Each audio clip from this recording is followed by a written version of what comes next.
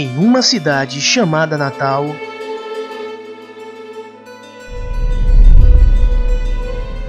existe um povo chamado ABC.